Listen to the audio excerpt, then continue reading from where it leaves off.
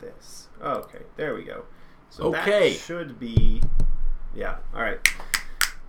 We will start all over. Uh, we'll did we start again. We said welcome. Uh, we said welcome. Yeah. and uh, we're we're coming to you live from uh, beautiful Shanghai. Yep, and today's bits and pieces we have for you. We're going to be playing some Alice. Uh, we're going to be answering some chat, which is when I look over here. Yeah. And we're going to be talking about the Kickstarter, Out of the Woods, Mm-hmm. which had a great night. And we're going to be playing some Out of the Woods. That we are.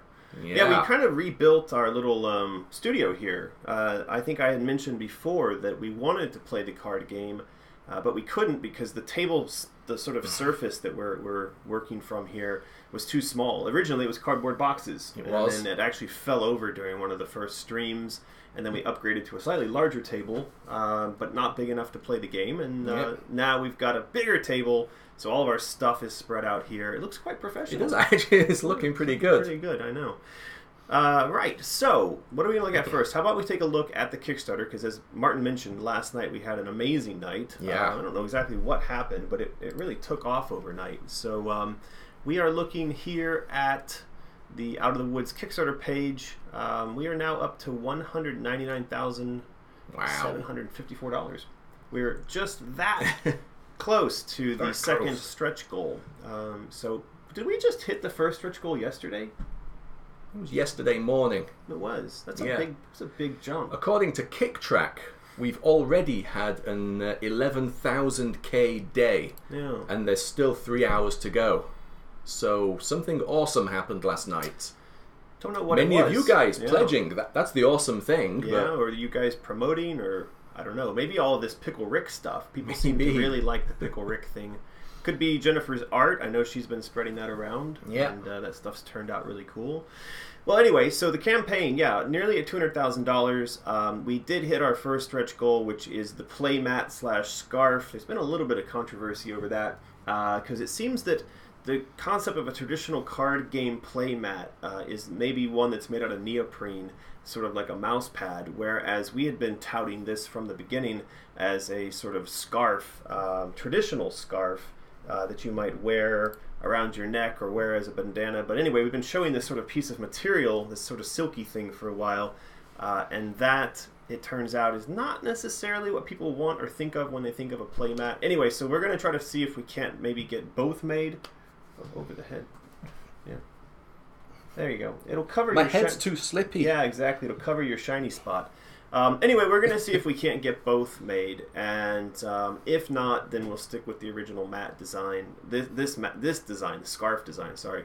Um, but anyway, main thing is awesome. We hit the um, the goal. We, we did. Yeah, and so now the second stretch goal is going to be Something props. something akin to this. Yeah. This is kind of like a little certificate that you get. This is for when you buy anything from Mysterious, but it's going to be very similar in design and style and awesomeness to this. It'll be uh, Alex Crowley. He's the one who designed this. He's also the one who did a lot of the il- illustrations for the website uh, and for the card borders and things like that. So he would do another one of these. And so yeah, for every person who's backed the project at the phy- any physical reward level, as soon as we hit this second stretch goal, then you can expect the box containing your card game and your book, or your card game and book, um, to arrive with the scarf and the collector card. Mhm. That way, everybody gets something autographed. I know a lot of people were interested in that. So, Yeah. Um, that makes it easier for me because I can just have all the cards at home and sign them, and then we can stick them in the boxes and send them off. So, Yep. Yeah. Good plan. all right, So yeah, maybe we'll hit stretch goal two as we're streaming. I think we might. Yeah, Two hundred and forty-six. Yeah, almost No, there. Yeah. All right, so um, I don't know if there's anything else to talk about with Out of the Woods. Yeah, stretch Not really, goals. just go go to the web page, have a look, give Yeah. us a pledge if you like what you see. spread the word, all that kind of good stuff. All right, let's go die some more. Um, apparently, I've been playing my own game all wrong. It's it's quite funny. I've been reading people in the comments who are saying, "Don't forget to upgrade your weapons," or "Stop playing like an idiot." You know, that's pretty bad. Um, but we're gonna pick up where we left off, which was.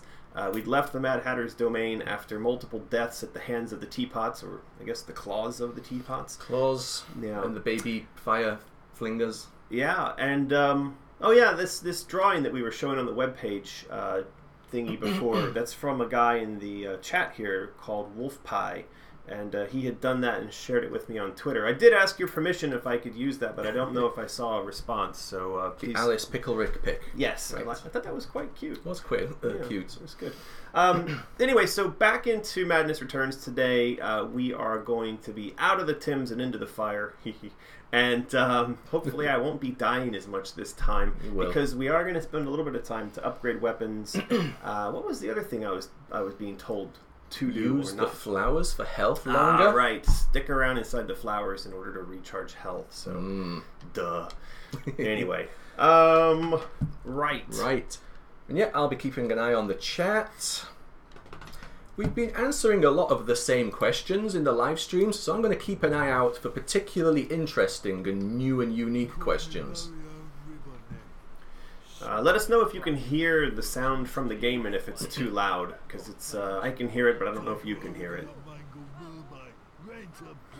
Okay, let's see. do you think you're doing?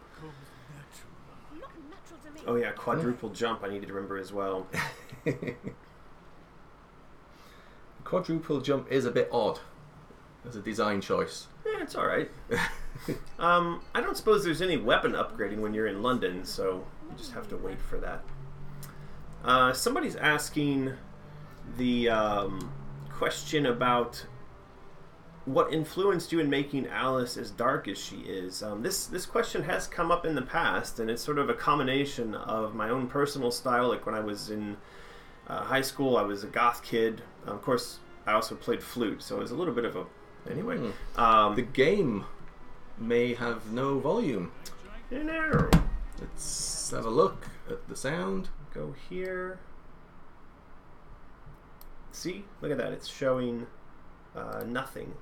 I think whenever you restart, um, you end up with uh, these settings getting broken, and then you have to start all over again. Bear Go. with us. Technical difficulties. You'd expect to see None, that start. none of those audio options did anything No. to the game. Uh, use device timestamps. What does that mean? So bizarre. This all works before we start usually. It, you, yeah, it really does. We're we're not that terrible. We actually do test everything before we start streaming to you guys, Honest governor. and it all is working. And then we come in here and start the stream, and it's like I, it's Gremlins. I think it's Lulu. I think Lulu. comes, Maybe. I think Lulu is um, is coming in here, and she's nibbling on the wires. So um, let's see here. That would be audio output, right? We want to capture audio output. I think that's what we used before. Yeah, and we were doing um, speakers, right? Let's try. Look, it's just not. But I think you have to. Ah, there it is. Oh, Okay. yes. It's this whole thing with. All right, so we got the sound back. Uh, you will want to Right. comment on levels. If it's Yes. too loud, Tell I us- can turn it down a little bit. Tell us. Sorry about that. So yeah, you were saying the what inspired the darkness of Alice. Um, yeah, I mean, it's sort of it just a lot of things. My own personal experience as a child um, obviously led to a lot of the narrative uh, content in the game, sort of inspiration for that. Uh, and then, as I was saying, I was, you know, goth kid when I was in school, and I uh, tended to listen to sort of music in the genre, and I, I, yeah. So when it came my turn to make a game, I was asked to make a game. I um, sort of just melded all that stuff together. Uh, can we knock the game sound down by like twenty percent or something? Yes, we can do that. How is that? Let us know if that sounds better. Yep. Should be much more quiet now. Um, do we have any more plans with Out of the Woods outside of the cards? Figures, art, animations, digital version. We do. Uh, we have been speaking uh, to one of our old buddies about a potential digital version. Um, but this comes with its own little things that you need to consider, such as keeping servers live and whatnot and uh, supporting it. So it is uh, it's a little bit of a bigger decision. And yeah, we are still hoping to keep Out of the Woods going in the future as a franchise, hopefully, with like new games and new art and new explorations of uh, different fairy tales and whatnot. Is this something that you guys do in the UK? You just sit around out in the rain? Yeah. I, I don't. I mean, I know it rains there a lot, but these people all just seem so not bothered by the fact that they're getting completely drenched. That's because we're tough. Uh, maybe it's because you're just not that smart. I, these guys, I don't get it. We're hardy. Money, you Man, I guess so. Get those fat ass whores out. Nothing wrong with a bit of a street, or I'll rainstorm. come up and break Shut you. up, you This is our uh, brick top here. It was inspired by the character in fruity Snatch, whose name you and I were trying to figure out the other day, but I forgot Yeah. what that was. You know. I thought it was Copper Top. Prospect. But uh, I don't think he's Copper Top. I'm pretty Oh, sure that in look. Snatch the Brick guy's Top. Brick Top. Yeah. your Yeah. disheveled self up here. Ooh. Hmm, what have we got? Did you write or influence any of the script for this game, or were you mainly part of the overarching story? Uh, all of it. So uh, we before production actually began on the game, uh, I started work on a massive wall full of notes, uh, note cards, and the note cards contained um, a growing outline of the story, and it went scene by scene, location by location, character by character. Um, and what when it was sort of at its peak, uh, it got to be something like six feet tall by probably 15 feet wide of, of cards and scenes, and I was sort of uh, taping it off like into different scenes and things like that. Um, and so then the art guys came in and started moving stuff around and talking about color theory and how to make the game sort of pop off the screen by having certain sections of the game appear in certain orders. Um, we started talking about technical limitations um, that would also influence which direction we went, what we did, what we showed to the player, and when. Um, and then RJ and I started working on the story, actual dialogue. Uh, we, we would go in and write script. Um, so, f- say for instance, like the introduction scene with um, Dr. Bumby and the rabbit in the boat. Um, I wrote most of that, and then RJ would write the, the next blob of stuff, and then I would edit, or he would edit something I'd written. So it was very much back and forth between myself and RJ on the uh, on the dialogue. Um, but the the overarching story, though, uh, came to life on the massive um, sort of note board, note note card storyboard that I, I built, and that process took months, um, it was months and months of working on that. Sounds it. Okay, someone keeps beeping my phone here, so.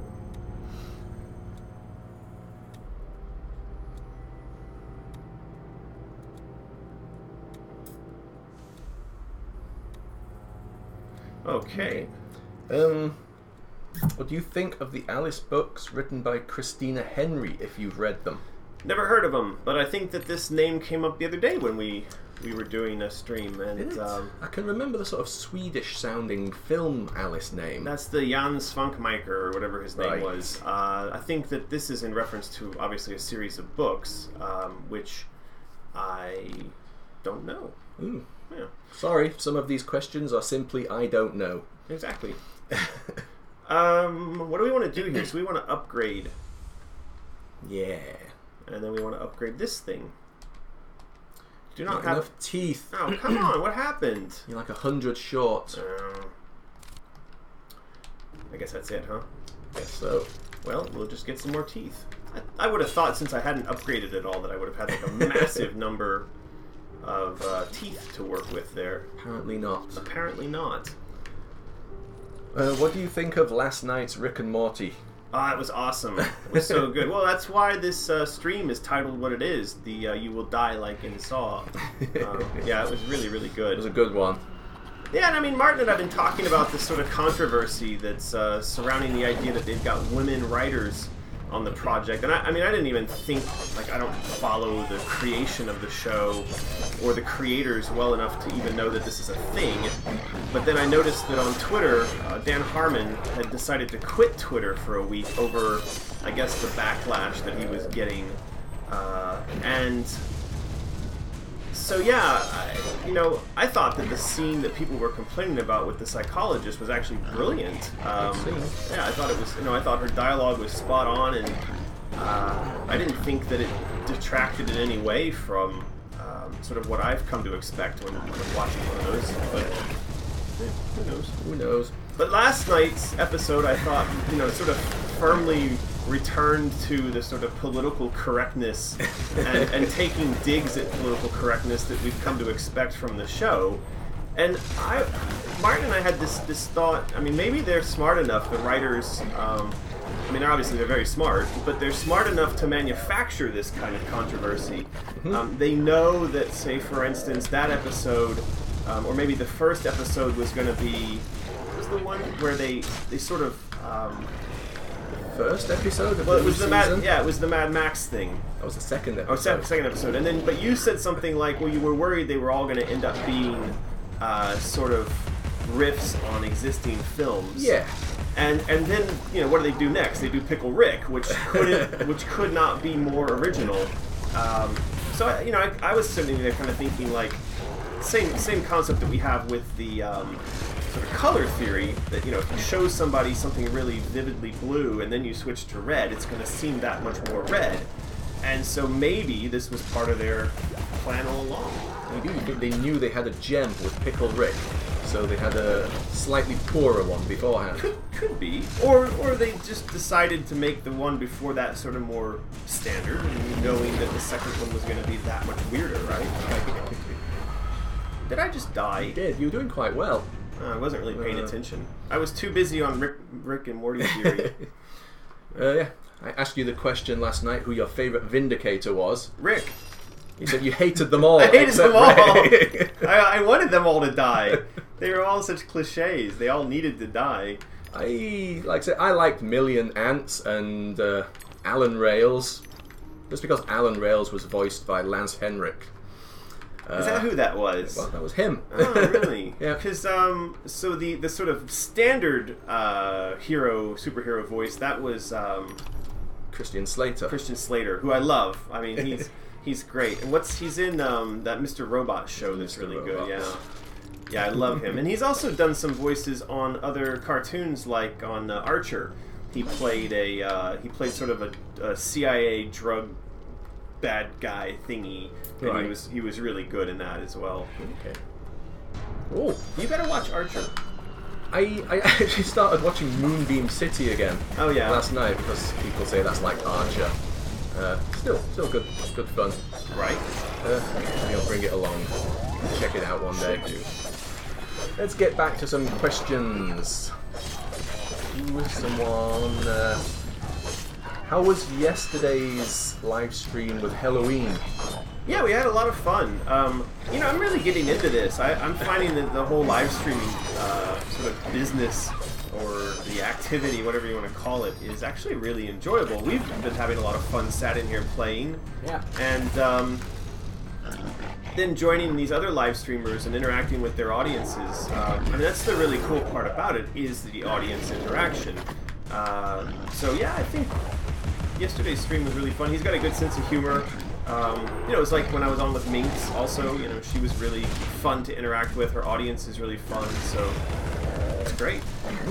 Though it seems like I got Halloween in some trouble because he mentioned that his girlfriend is older than he is, and then she took she took to Twitter to make sure everyone knew, knows that that doesn't mean she's an old hag.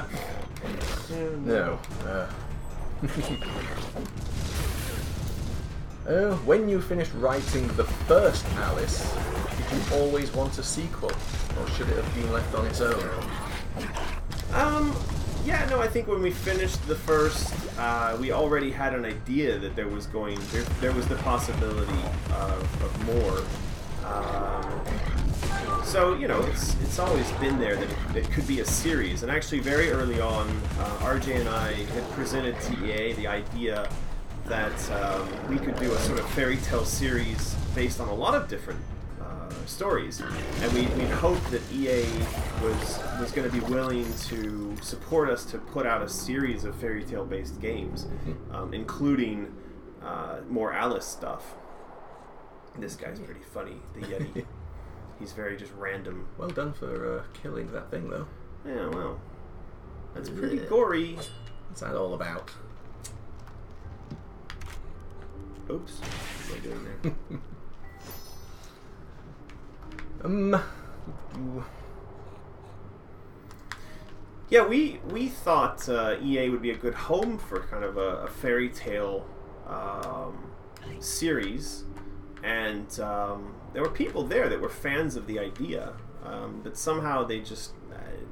When we finished Alice, they decided because it was so, at that time, violent, uh, and it was their first M rated title, uh, there were some people that were upset about it, and they wanted to see some heads roll. And so um, I took off to India for two weeks, and while I was gone, they uh, they fired RJ, so that wasn't Yeah. good. not good. Oh no! So have waited. Uh, it was an intentional death meant to amplify the uh, the whole fact that they'd fired RJ. Was it? Yeah, no. See, I Okay. said it again and I died again. Every time you say fired RJ, I have to Alice die. has to die. exactly. There you go. Okay, maybe I'll stop doing that. um, do you have a favorite voice actor? uh, in the world or like Uh, the question has scrolled past now. The- I don't think they specified. Well, maybe do both.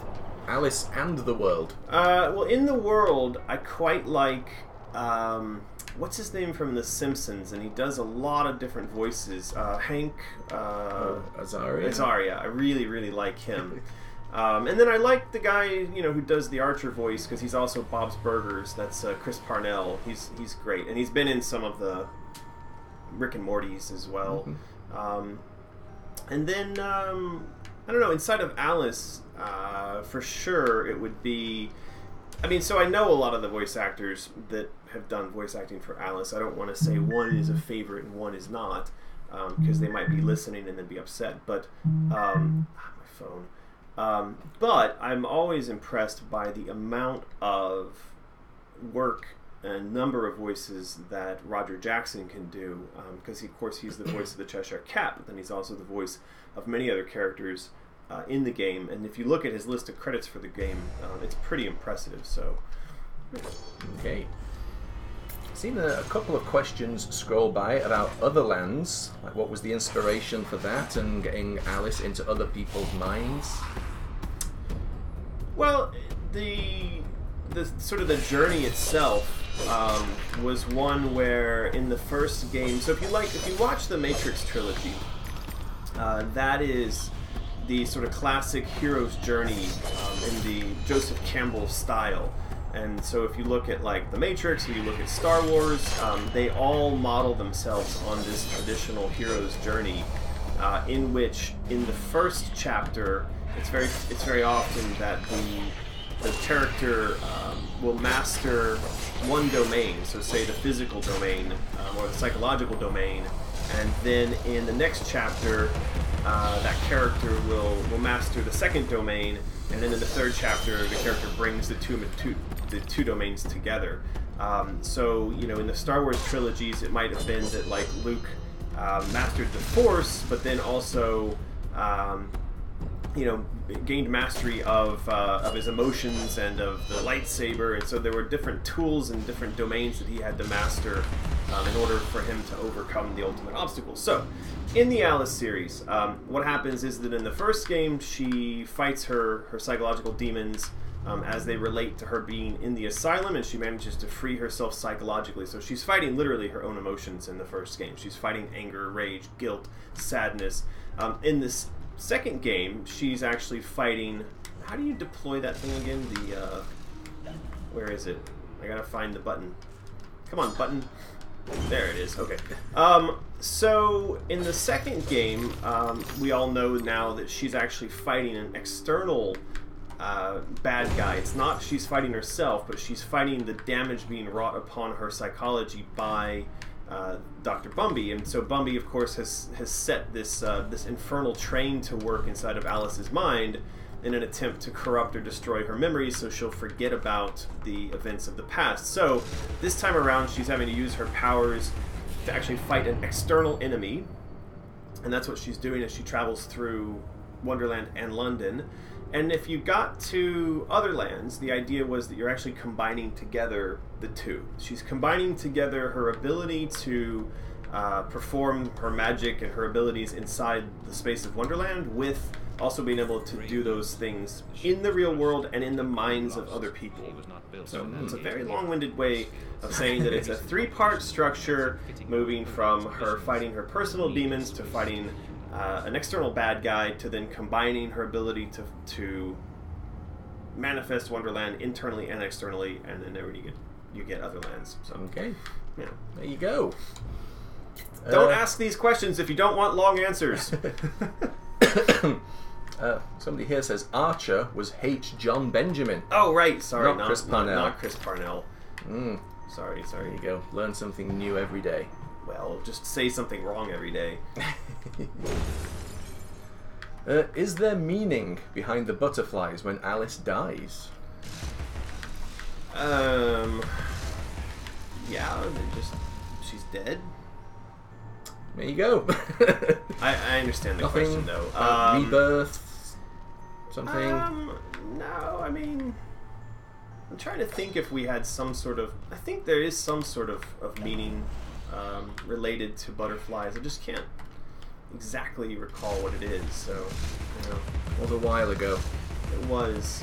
I'm sure if we looked it up, the meaning of butterflies in dreams, we'd probably find uh, that there's there's something going on there. Uh, but I'm, I'm spacing it right now. Uh, can you tell something about the asylum sequence from the sequel? Is it only Alice's memory, or did she revisit the place?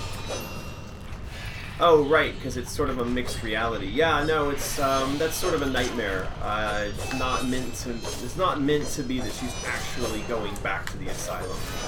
Um, the well, and again, this is one of those things where we did design a kind of overlaid map of this adventure um, that had had her actually sort of getting close to the physical places related to the scenes.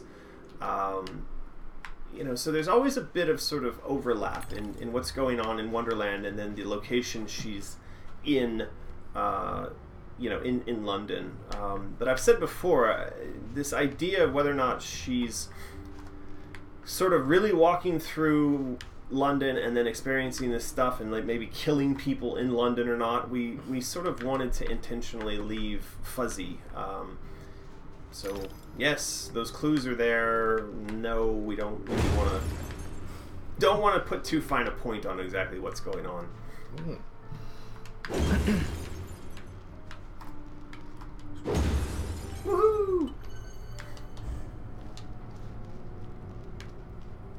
Any possibility of an original Alice live stream playthrough? Yeah, for sure. Um, I want to do an original Alice playthrough, and I also want to do Bad Day LA. so I've got to get a copy of that. Um, I just feel Bad Day LA would be excellent right now, given how much sort of political, you know, tension there is in the U.S.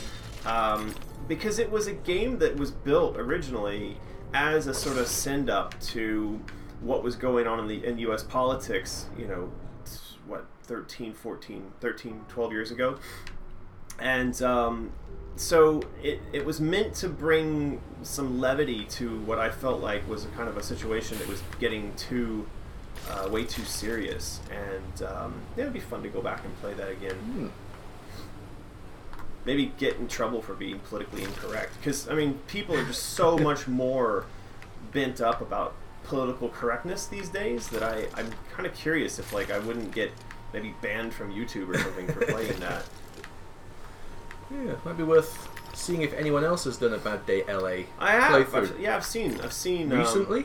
yeah, there's one. There's they're not that. Um, they're not that many, but there there's been a few, and you know what's always struck me is that like removed from the context of knowing sort of anything about me and knowing the expectations that were on the game because it was the it was the second game. It was the first game I did after uh, Alice.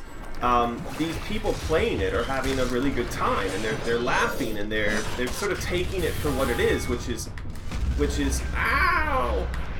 Um, yeah, they're sort of taking it for just being a bunch of nonsense fun, like a low budget silly game. And but you know when the when the sort of professional reviewers got their hands on it, they were um, angered by the fact that it wasn't living up to the expectations they had for whatever my next game was going to be. And so, um, here we go. Um, so yeah, watching people play it who don't have those sorts of expectations um, makes it a lot more fun. Uh, I, I think for them and for me, and uh, yeah, I'm curious to see uh, how it kind of stands up and, and what it looks like these days. So there you go. Bad Day uh, LA live stream coming soon. Well, and I think Alice an Alice One live stream as well would be good. I mean, we've got this whole setup in here now. We might as well. Uh, use it. yeah, exactly. Um, apparently, according to Google, dreaming of the beautiful butterfly represents a time of change, but you're going through some type of transition. There you go. There you go. That would be why we did that. Yep, changing from alive to dead, Yeah. back again. Yeah. Everything does have its meaning. It's just that I don't always remember exactly what all those meanings were. Um, we've got a question about the possibility of Alice being VR, mobile, or episodic. How much more doable is an episodic game compared to uh, normal? Well, uh, I've been trying to figure out how we would get a new Alice financed because um, I don't think it's going to be the case that we can convince EA to just outright pay for a new Alice game. Um, but you know there is crowdfunding, except that the problem with crowdfunding is we might be lucky to raise like a million or two dollars. And this is why I went to Twitter the other day and was asking about mobile VR or um, episodic. That is because I could imagine that we might be able to set up a small studio to produce a series of episodic Welcome. games on a Here's sort of a little something to keep your non-fixed schedule like a tank? and have that funded via crowdfunding, but have the funding go on and on and on, as, as opposed to just one Kickstarter and then it's over.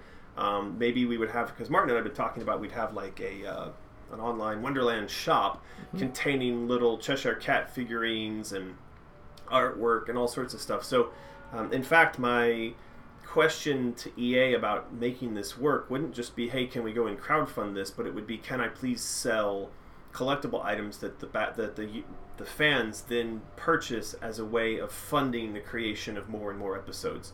Um, so that's something we want to look into. That was why that question came up. Um, yeah. Yep.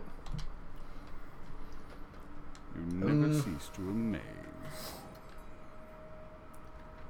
Why wasn't Elizabeth more of a point of grief in the first game? Her death was something something scrolled past the question. Well, in you know, remember in the first game, Alice uh, was suffering from a sort of survivor's guilt, and she wasn't aware of the fact that um, you know that it had been a murder. Um, she she didn't know that, and you know, in, in the first game, what she recalled was that the cat had knocked over the lamp. But of course, in this game, we then discovered that that's not exactly what took place. Um, she was suffering tremendous psychological pain and damage. That's why she was in a, an insane asylum, and it was why she was for so many years uh, in a catatonic state and not really reachable by anyone from the outside world. Um, so I, I don't know. I mean, I thought we represented pretty clearly that she was not having a great time, and that she uh, she definitely was was affected very negatively by uh, this experience. I'm, I'm not sure uh, what else we could have done to uh, to communicate that. Uh, can you talk any more, roughly, about the ideas that you had for the Alice Asylum prequel? Um, it's. I mean, it's it's so early right now, but um, you know, the the main idea is that let's go back and find Alice uh, while she's still sort of maybe 13 years old, and um, she's still in the asylum, and she's kind of in and out of this. Uh, all right, you can bash them on the head when they're like this, can't you? Um, so she's kind of in and out of consciousness, and then the question would be, what you're supposed to do? Whack them? Isn't it like whack a mole? Um, there, this is- um, yeah, so we would be seeing what it was that was going on in her mind while she was in that catatonic state. Uh, and I think there could be quite a lot of interesting things to do and see. Look, I'm using it correctly this time. You are. Yeah. Well done. Um, yeah, I mean, I think seeing her go into various places in Wonderland um, and then play through sort of more puzzle room like experiences, also some combat. We, we were talking about this yesterday on the Halloween stream, which is that I think in a lot of ways this game, Alice uh, Madness Returns, is really too big. Um, especially, it's too big if we were going to try to recreate this uh, with a smaller budget or a smaller team. There's just no way. But um, if we broke the game up into little chunks and we made it all about puzzle rooms and it was sort of areas of Wonderland that perhaps we'd never visited before, um, I could imagine we could go and see some pretty interesting and fun stuff. And also enabling that to be um, sort of VR uh, powered. You know, it wouldn't have to be that you'd have to use it with VR, but having it where you know VR um, definitely worked, um, that would be pretty cool as well. Hmm. How good can you guys speak Chinese? Me? Not very good at all. kind of functional for ordering food in restaurants and just basic hello, how are you? Where's this? Where's that? American is pretty fluent. 对的，我的中文比呃 Martin 的中文呃真的好。我不知道为什么，因为他住在上海就是 How long you been living here? Seven years. Seven years. 七七年多，他就在上海，但是他还不知道怎么说最容易的东西，所以，um, yeah. I, I've actually been going to school um, on and off, and then this year, at the beginning of the year, I was in school for six months, um, studying every day, and uh, so it, that helped get my skill up quite a bit. What's going on with this thing? Yeah. So, Uh, we've been taught that we can break these, and now we're being told that no, you cannot. hmm. Maybe it needs upgrading or something. I don't know. Yeah. Maybe you're supposed to be in uh, sort of uh, hysteria mode when you try to attack those or something. Maybe. There he is. Hello. He's so cute. Oh no. Uh, not the sharks. You better come aboard, Alice. We doomed, of course. What? There's no hope then. Funny. Isn't it? Major boat, but not for us. Now Right. up. Uh, uh, yes, if you donate just a little bit to the Out of the Woods Kickstarter, you will get the link to the about 350 megs worth of Alice design type documents.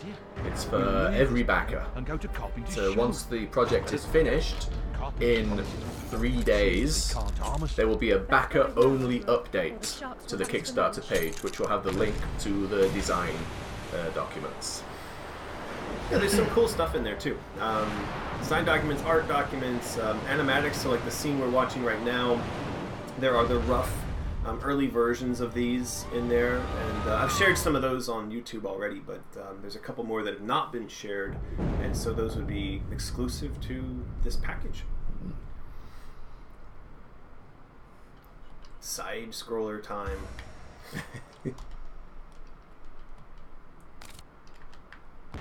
Could there be a possibility of a Scrapland stream in the future? Uh, yeah, I could do.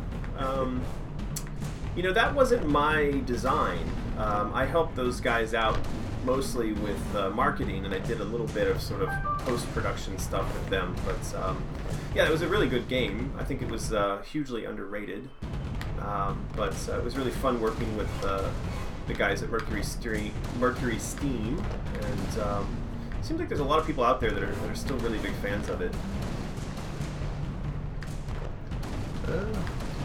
What would an older Alice be like? like 20 years older. She'd be 20 years older. Yeah. Um, How old is she in like the end of Madness Returns? oh no. See, Martin, why would you ask me that? Now I'm gonna sound stupid. Um, um, she's. I think she's 20 something by the time we see her in here in Madness Returns. Um, uh, there, there is a whole system of, of dates and whatnot. I just can't remember everything off the top of my head right now. But we did try to keep everything sort of making sense in terms of the date of the fire and the age of the real Alice um, in the real world versus in the game, and then the years that she would have been in the asylum and stuff like that. So um, it is there is a proper timeline, and it all does make sense. But uh, I just can't remember it off the top But thanks for making me look stupid about my own game. Appreciate No that. problem. Yeah. I'm actually doing a pretty good job making myself look stupid about my own game, so I think people will forgive you. It's been a while. it has been a very long time. Um, right. Odd one. Have you ever imagined it possible to get a lot of people to like the Alice game? I think a lot of people already like the Alice game. I'm not sure I understand that question. Yeah. Um, Don't know. If, if there's more to that question, please ask.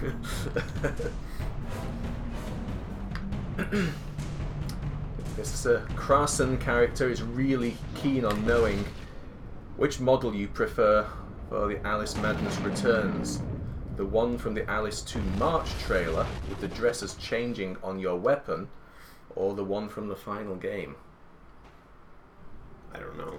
So Um, three times in a row. Alice Wild turns the one from the marsh.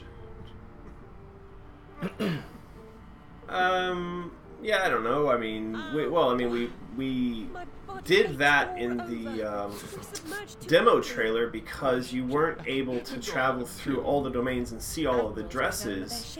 Ships. Um, so we needed a way to logically show off all of the dresses in the trailer he was station master without traveling to all the different places. Um, now, what we ended up doing in the game is what we had designed from the beginning to do. So it wasn't really a question of preference.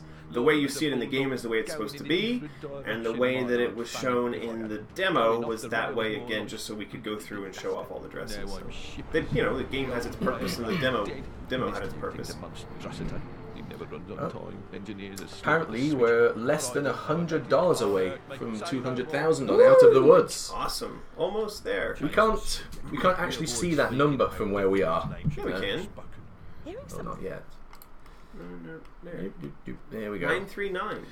Ooh, Cool. so what's that? Sixty-one dollars away. Yeah, almost there. Exciting. I'm sorry. And then we're gonna have unlocked a new uh, stretch goal. Please, Yep, tell me the what you know uh, about the train. Yeah. I'll Just Me. say we've escaped Oh, a show that off again later. collision.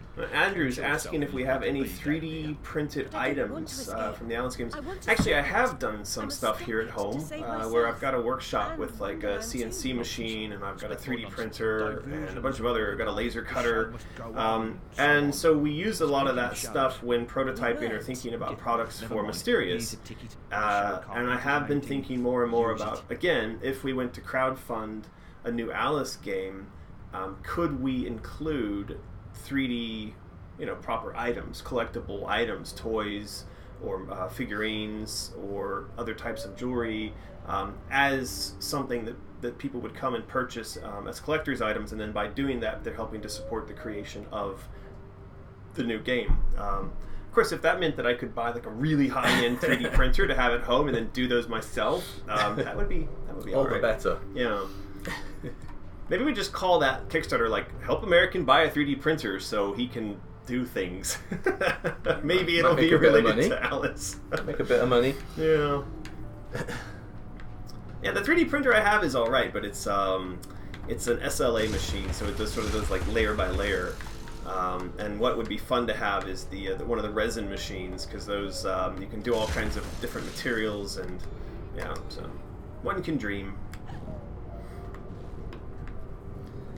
Uh, since money is an issue for Alice 3, cost wise, would it be easier to make it in an entirely different style?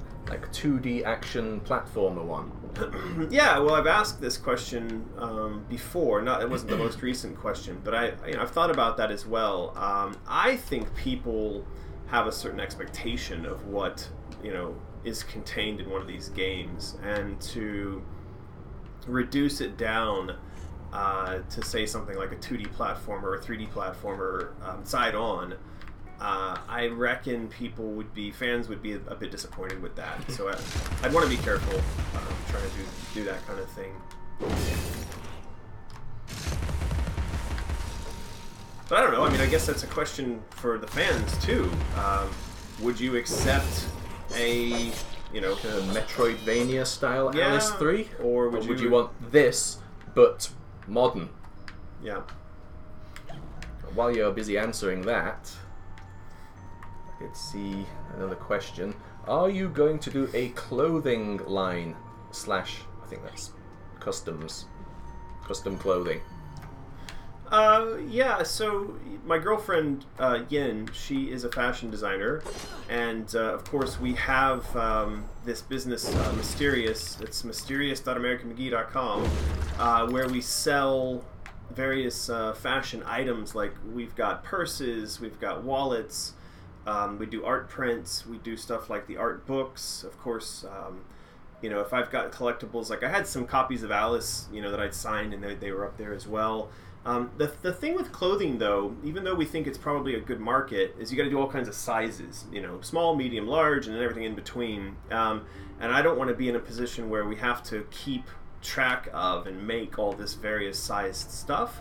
Um, so we're we're thinking about it, but we're trying to find a way to do it where it doesn't sort of require us to get into the business of making and holding on to tons and tons of different size stuff. Yeah, so Uh, some answers coming in about uh, what type of Alice 3 people would like. It seems to be mainly people would like this, yeah, but modern, updated, better. There's a Yeah. few people who would like a, a 2D style platformer, but it seems the 3D seems to be winning that particular question. Yeah, well, I mean, I, you know, from my mind, I think it needs to be a console title. Um, it could be something that's a digital download. It doesn't have to be at retail. It can be, you know, in the in the digital store, uh, and then, um, you know, could be something again. Like I said, we, we would release uh, potentially episodically. Um, could probably also be put on Steam um, and released episodically. So you know that that I think is pretty much a given. Um, the question then becomes, you know, how do we get it built? Um, you know, one of the problems, like with building a company in China, is you can't just hire people and then fire them.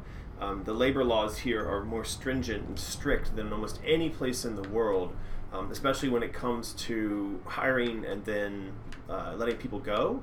Uh, which means that like the idea maybe we would set up and build some stuff and then close down for a while and raise some more money and then set up we, just, we couldn't we couldn't get away with that so uh, we need to find a way maybe to outsource the bulk was of the that last one in the but then keep a core matches. team alive The who are able to put together the weight was dead episodes when I went upstairs as the funding with comes in to do so. I may be responsible Plenty of options to think deaths. about. yeah yeah If it became a possibility. Yeah. Yeah, I see people talking here about items we could sell on um, Mysterious. Like, I, I want to do socks and I want to do stockings because there's a lot of fans of that type of stuff out there. Um, you know, I see somebody saying, don't just make it regular t shirts. I agree. I, we've stayed away from that, even though we certainly would have the ability to do that. Um, so we'll see. I, you know, as soon as this Kickstarter is over, um, in addition to working on getting this Out of the Woods game made, um, I'm also going to be spending a lot more time on trying to build up Mysterious uh, as a brand and with the stuff inside of it. Again, in the hopes that it will be there and help us to power doing the uh, the next Alice game um, with some sort of online store component, uh, making that possible. Okay. People are saying yay 200k. Oh, there it is. It's just switched over. Woo! We got it! Yeah. Oh no. Um, why don't we take a break from the gameplay for a second and we can just look at what we've done? Yeah, look at that. Excellent. Two hundred thousand dollars. High five and high five to everyone out there who's helped us go over. Now, of course, while we're sitting here, someone's going to back out, Yeah. and it'll drop back down again. That happened the other day. We were all excited that we were heading towards the first stretch goal, and then it looked like um, there was somebody who who'd made uh, two Some- fake Kickstarter accounts. Some fake person backed out to the tune of one thousand dollars. Yeah, terrible. So we Yeah. went from like we went literally from being like fifty dollars away from the stretch goal to suddenly being thousand dollars away from the stretch goal. Um, but Yeah. yeah, it happens. What are you gonna do? And at the end of the day, doesn't matter. We're now fifteen thousand beyond where they were when they uh, kind of caused us a little trouble. So Yeah, yeah, exactly. doesn't matter. So that's good. It was annoying at the time. Well, that means that we're going to be able to do. Where's the card? Where's the thingy? So yeah, this is a, an example of um, of what these collector cards look like. Um, you can see that they're um, they're numbered here, uh, and then there's a place where I can autograph uh, the card as well. So I will hand number and hand autograph every one of the cards, and then we'll have it um, we'll have a design done up like this, um, but with out of the woods artwork. Put this over your head. Um, with out of the woods artwork and um, you know some sort of collector card nonsense back here, and then so everyone who backed at a physical reward level will have one of these thrown into the package that arrives, whether it be with your card game or your book, or your card game and your book, or whatever. And um, there'll be the scarf in there as well. Yeah. So I think the package we're going to be sending out to backers is going to be pretty damn cool. Gonna be awesome. The card box, um, for instance, is uh, a flip lid with a magnetic latch, and Yep. then the inside is going to be plastic molded so that the cards and everything fit in there Sit really nicely. snugly. Um, the exterior of the box you can see on the uh, on the website uh, what that design is going to look like, like this. Um, so the outside of the box is going to be made to look like a fairy tale book, um, and then you can see here it's got all the nice foiling, and it's going to have the UV uh, varnish on it. But when you open up the inside of the box, it's going to be gold foil. Um, the idea being that within these uh, grotty old fairy tales, um, there is some magic and some sort of key to uh, existence, and so there's a kind of Indiana Jones style glow when you open up the box. And uh, I remember we were talking to the production company about how good the boxes can be. They gave us a big list of simple box, slightly better, bum bum bum bum, all the way down. We just decided to go all out. Yeah. And say, just do the best one that you can possibly do Well- for all backers. I think that's why, you know, if you looked at the total we were trying to raise early on, it might have looked kind of high um, in comparison to other card games, but that's because other card games would set these uh, additional levels of quality to the cards and the box as stretch goals, but we had it set up uh, from the beginning that way, and so that meant that we were hitting the highest level of quality um, from day one, and um, eh, it's okay. Yeah. Yeah. It's going to be awesome. So Yeah. yeah, scroll that back up so I can keep an eye on that. Oh yeah, you want to see? I want to see that number See so that it doesn't number. drop down. Yeah, well, let's keep it growing. All right, let's go back to gameplay. a freely explorable wonderland would be awesome. We talked about this Yeah. a little bit. Because Martin's favorite game is uh, Yeah, I, I played the crap out of Horizon Zero Dawn. I would love that if there was like a Wonderland version of that. So yeah, if EA is watching and want to drop 50 million for us to uh, visualize that in gameplay form, that would be great. Uh, but yeah, that's uh, I really love Ah. that game. Don't don't jump off the side there, Jump lady. off that. No. now is he gonna reappear and continue to annoy me? Who? These uh, the Davy Jones ghosty characters. You see, he's sort of Oh. appearing and disappearing there. Yeah, yeah, he is. I, I think this. I'm trying to remember what the way was that you blew them. You killed them. I think maybe you reflect their bombs back to them. Is that right? No, that didn't work. There's some secret to making them. Oh, you blow their bombs up in their hands. Yeah. Smash his face in. I, you know, I always thought the artwork on these guys was really cool. Um, I remember, I think Ken drew these, um, but they're very cool characters. Mm, what else do we have? I think I'm getting better at my own game. I've- I'm sort It of, might. I'm learning the tips, the tricks, you know, and it might work. You've certainly died less. I'm dying less. This is I true. think so. Yeah. Why am I going out here? This looks horrible and scary. there's like a whole series of things floating out there. Oh, look, there's a sort of derelict piece of the Hatter's domain floating out there. Is that what I'm trying to get to over there? Seems like a really Hard bad idea. I don't, I don't really know why I'm doing this. I feel like this is a mistake. What happened to Other Lands? Was it just a working title? It's finished! Ah, no! oh no, you died, or oh no, somebody asked that question. Both! Both! oh no! Go look at the Kickstarter Oh, no. page. All the information is up there. Stop asking that question. yes, Other Lands was an animation, and then you got two animations, and it's all finished. All backers got everything they uh, pledged for. Successful project. Check out the videos on YouTube. Yeah, but there's a small contingent of grumpy people who I don't even think they backed the project, um, who continue to go online and complain about it being some sort of bait and switch. Like, we expected a game and we didn't get a game. And it's like, well, it never said it was going to be a game. It always said from the beginning that it was going to be related to the film. The film rights, and that it was going to be uh, you know, animations as the rewards for those who helped us to get the uh, the option on the film rights.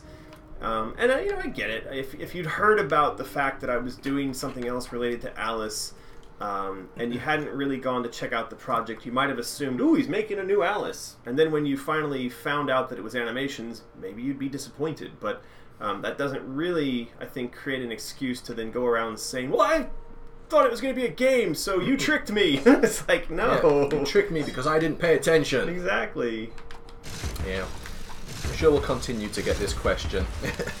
Did we really use these props? Like, we doubled them up, so they're being used as lights here, whereas in earlier section of the game they're being used as breakables that contain teeth. That's terrible. That's not nice at all. Who would Hmm. do nice. that? Very tricky. very, very tricky. There's some fishy residents here. Look at this are. guy. Yeah, he's very cool. Or she, I'm sorry. She, sorry, ma'am. Sorry. I didn't mean to misgender you. yes, you assumed that fish's gender. I didn't mean to Damn assume it. that fish's gender. Yeah, I apologize. I wonder what her pronouns are. Flurm. Flur and blub. Yeah. Bloop, bloop, and uh, yeah. Noop, noop Noop, noop. Mister, and, or I'm sorry, noop, noop. Just no Mister. Um, are we going to make a board game from Out of the Woods or something like that? Yeah, for sure. But I think it's going to be Out of the Woods 2 um, that we're going to do that with. Because Out of the Woods, you know, already exists now um, to become a card game. And um, what we'd like to do is some months from now, then. Um, what's going on? What am I locked onto him? Uh, we'd like to do another Out of the Woods, another Kickstarter, and then make that another 10 different uh, fairy tales, another book, uh, another game, and then make that game a bit more complex. Yeah, that'll be good. So we did go. Uh, we went to like a board game night uh, a couple of weeks ago up at a local Mexican restaurant, and uh, yeah, board games with pieces and stuff. They uh, they're quite fun, enjoyable, and they're very popular on Kickstarter as well. So uh, yeah, maybe Out of the Woods too. Yeah, what I'd like to do is a game that's got uh, sort of collectible pieces, um, like different characters. You know, say it was the Big Bad Wolf and Red Riding Hood, and then have them be, uh, you know, 3D models. And uh, if we had a book of 10 tales, and then each tale having, you know, sort of four characters, so now we've got 40 playable pieces, and then we come up with a game um, based around that, it's going to be quite fun. Yeah, This is just a regular little uh, fish town, you know? yeah. You know what would be cool is if I had a fish tank at home that had all this kind of art and stuff in it. I bet people would, would expect that. They'd be like, oh, that makes sense. You've got the fish tank. I do have the fish tank, but it doesn't look anything like this. I'd be worried if I saw that my fish were wearing glasses. I mean, I mean, like, as their owner, do I have to pay for the glasses or to, like, send their little fishy kids to get their eyes inspected? maybe That doesn't seem like a good deal. seems fair though. I don't know. I mean, I feed them and I keep their water clean, so that seems to be enough. There's no time Um, to waste. Wasn't Alice supposed to swim in this level with a mermaid tail? Uh, yeah, she was, and um, we did have some some tests of that. Uh, did that not make it into the final game? Don't I think there's a swimming. but there's a section coming up where she does. I think she does swim in, in one of the sections coming up, doesn't she? Find out soon enough. Um. um. So, yes, apparently she was supposed to swim, but maybe she does soon. Uh, for some reason, I thought that we ended up. Uh, I don't know. It's been too long. You got me. We're just gonna have to play and see. See what happens. You'd think I'd know the answer to that question, but I don't. A new Kickstarter we can do Alice, fi- Alice fish tank ornaments. Yeah, I think that sounds cool. Actually, Why not? why not? There's, si- there's more silly stuff in the world for sure. I mean, some of the stuff. Why did all their heads just pop off? Um, Come, Alice, don't What happened? this. You've already Wasn't They just watching. suddenly all turned black. I was watching the chat. Did I do that? That was really weird. If anybody knows why they all just suddenly up and died, I would I would love to hear your theory on that.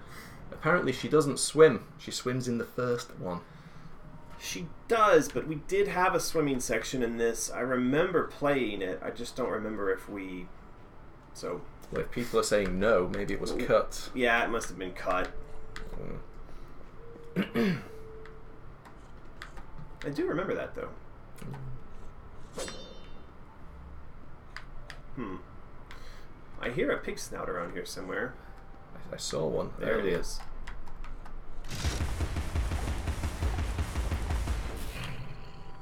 Oh, they're saying uh, it may have been a timer that made all those dudes die. Oh, okay. Didn't see a Don't timer know. on Oh, screen. right, because that those are the little sections that you're supposed to like rapidly complete in order to earn something something. Right, right, right, right, right. Those are the sort of time challenge uh, areas. I remember that now. See how little I know about my own game? It's just it's it's really it's embarrassing. You have plenty of teeth now. You can upgrade the uh, pepper grinder or Can I? something to that effect. Okay, let's do it. Let's upgrade this. Is that it? I have I have 800 still. Yeah. Should I upgrade this thing again?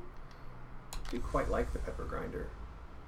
I like these designs on the pepper grinder too. See, these things would be really cool. Like if we did another Kickstarter about Alice, and then you were able to get little models of these things like this big. You know, if like if it was like a pepper grinder that was like this tall, like nicely modeled and painted, Yeah. um, and then there's kind of variations on them. I would eat that up. I think, I think, I It wouldn't be able to do the Vorpal blade. I, Possi- I think if if, it it was was, very big? yeah yeah if it was small what we got in trouble for was sending out something that was more or less kind of life sized and uh, then they rejected that and sent it sent it well actually they didn't even send it back they just kept it they were like how dare you try to um, how dare you try to uh, send something uh, out of China that looks like a knife and um, Yeah. yeah Somewhere there is a customs agent with an awesome Vorpal blade that is exactly right in his collection now. yeah So, Yeah, I felt bad about that. We had to return. I mean, obviously, we returned people's money, um, but a lot of people that that happened to um, then said, "I don't want the money. I want I want the Vorpal blade." You I know, don't know so- where it is anymore. Yeah, exactly. It's kind of hard to return something that I don't have. Uh, do you agree with the critics when they talked about some of the unnecessary blank platforming in Madness Returns? Yeah, hundred percent. And I think, you know, playing this um, this on live stream um, has been really eye opening for me. I, I made the comment yesterday when I was um, when I was watching Halloween play on his live stream that um, it would be nice to have a sort of like Rick and Morty portal gun, so that once you'd spent two years working on a game. You could then open a portal, uh, fuck off to like an alternate reality for two years of that reality's time and your time. You'd forget everything that you'd done, come back to where you'd made the game and maybe only one minute had passed, and then play it. Because then you'd have the ability to be properly removed from your experience of having built it and you, your perspective would be much closer to that of the person who was going to play it. And of course, this is what beta testers are supposed to do for you. Um, but I think even beta testers sort of get it wrong because they themselves are very hardcore players. Obviously, they, they play games for a living. Um, so they're not going to give you, the designer, uh, you know, really a really good sense of what players uh, would get out of this. And, they, and they're not going to tell you stuff like it's too long um, as a game. But I would say, like, we knew that the game uh, was dragging on, and we asked EA for the time necessary to shorten it, to edit it down.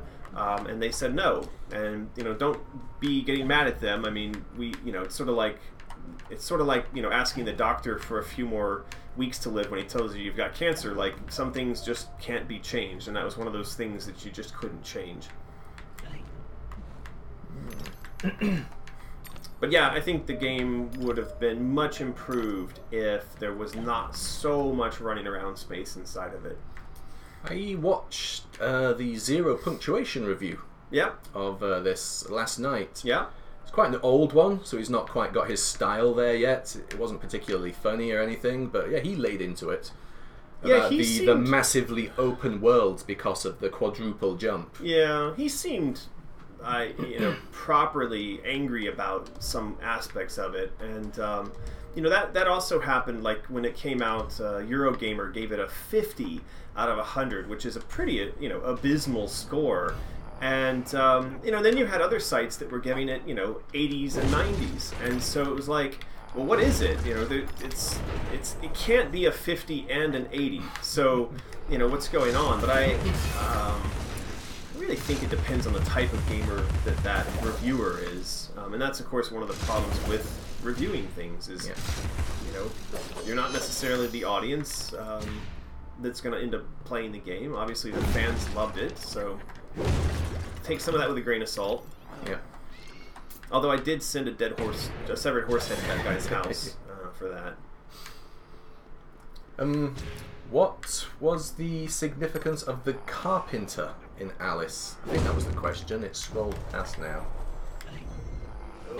Well, I mean, the walrus and the carpenter are, you know, characters in the Alice books, and so including them here, um, you know, just from a sort of content and having characters uh, type of perspective, obviously was was interesting and fun. They weren't in the first in the first game, um, but in terms of the narrative uh, meaning of, of that character, the idea that he's hiding out uh, underwater and he believes that he can escape the what's coming, he can escape the destruction of the train.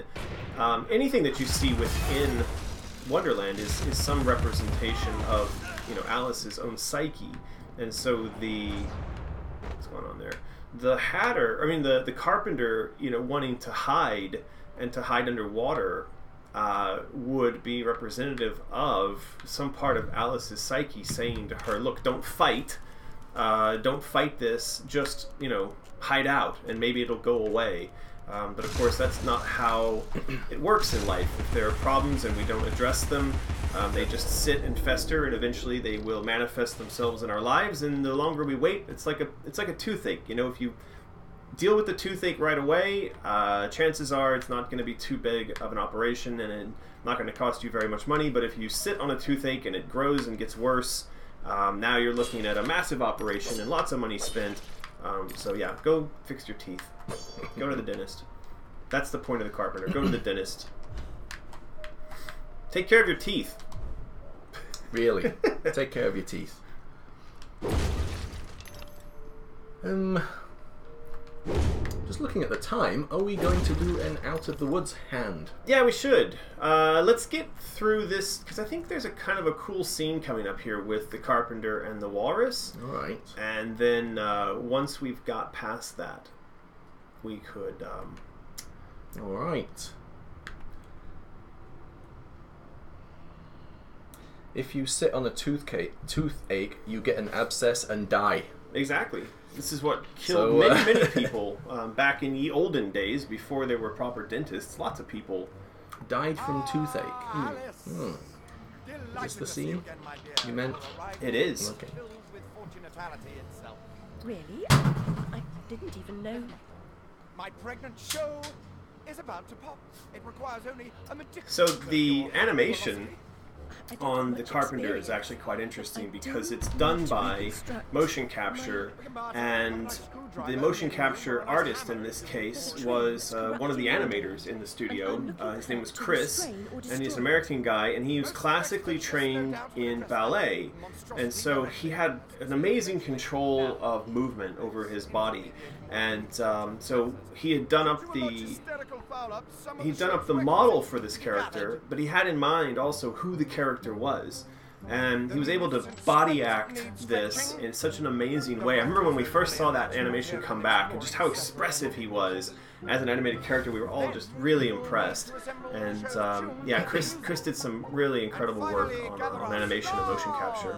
The show's tasty, uh, nay, tasteful performers. You should leave now. The essentiality of What other card games were the biggest influences on the mechanics of Out of the Woods? For the show. Hmm, Why can't you assemble these Mainly was Uno. Um, I mean, we've played other stuff like Exploding Kittens and Cards Against Humanity and other card games, but From the writer. Um, we were really just trying to keep it very simple when we built this. Uh, Yeah. People frequently just call it Dark Uno. yeah. I blush at Which is fine. Yeah, yeah. Nothing wrong with calling it that. It is kind of Uno with extra rules thrown in and with awesome art, so I don't think having it called Dark Uno is a particularly uh, critical thing. No, exactly. Nice. Um, speaking of, why don't we give the game a quick little play? Because there's a lot of people out there who backed the campaign um, and have been asking for us to play the game. We did play in one of our in our first live stream. Actually, we Very played first we played one. a match, and then we've also just recently had one of the backers slash fans um, start to implement the game on Tabletop Simulator, which you can get on Steam. And we have downloaded Tabletop Simulator, and I'm thinking that maybe the next time we do a live stream, we may use Tabletop Simulator to play the card game. But today, we're going to play the card game using the mock up cards that we've done, which is Yeah. the way we did it last time around. So we'll switch to this view. Switch to Card Cam. It's also hand cam. This is our mock up that we did of the game. Clearly doesn't have awesome art on it yet, but it has all the details. The houses around the side, you know, got red for blood, um, brown for wolves. So yeah, this is what we've been using. But of course, it's going to look much more amazing when finished. Yeah. And the other thing is, we do hope that over the next couple of months, while the artwork is being completed, uh, and before we go to manufacturing, that we will be playing uh, both on Tabletop Simulator and in real life. Martin and I have been taking the game and playing with other tabletop pl- uh, gamers here in Shanghai, as he mentioned, um, and we will be working to tighten up and refine the rules, also expand the number of cards that are in the deck to make it possible and fun for up to six or maybe even more players Yeah. to join in because we know that like in its current card ratio and count the game's pretty much tuned for sort of a two to four player game um, but we we know that also by adding a few bits and pieces here and there we can actually make it a six five or six player game Yeah. um, so we're going to be refining that kind of stuff, and of course, as we go through that process, and say, for instance, the game is on Tabletop Simulator, uh, we could then get your feedback, and you can help us. And then when the rules come out, it'll all be in there, very clear, and then variations on the rules um, as well. Yep. So, Stop it, shuffling. had a bit of a shuffle. so, uh, Martin is a shuffle fanatic. but I'm not very good at it. But right, a two-player game. Uh, we're going to deal eight cards each. So uh, two, three, four, five, six, seven, eight. I'll take that and put the top deck there. You can see. all right. I have my cards in hand here. We didn't actually go through the rules. Could do that now. Well, that's what we did last time. Did we? Yeah, remember we, we actually looked at the website and kind of went through the rules. So let's do that really quick because that kind of helps everyone who's watching to understand what's going on. So we will scroll down to the card game. Uh, it says here, obviously, it's kind of a dark twist on Uno and rar. Um, so what do we got? How to play? Take it away, Martin. Um, well, How do the cards essentially, work? the rules there are basically two types of card. There are character cards and action cards. Uh, action cards, as you imagine, do all the good stuff: attacking, defending, make the game interesting. And character cards are essentially just for playing on top of matching houses. Apart from one specific rule, where if you can match every card in a story and play it all at once in a row, you get out of the woods. Instant win. Unless the other person can play a block. So, character cards, they're kind of weak, but they do have one powerful rule. Uh, the action cards we have are here. Block pretty much does what it says, it uh, stops an attack on you. Reflect reflects an attack back at the person who gave it to you.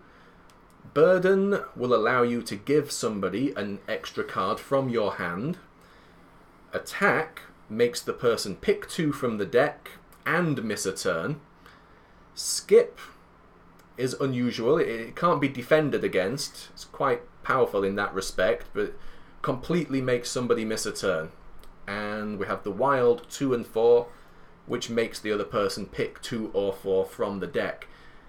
As the aim of the game is to get rid of all your cards, being forced to have more is clearly a, a bad thing.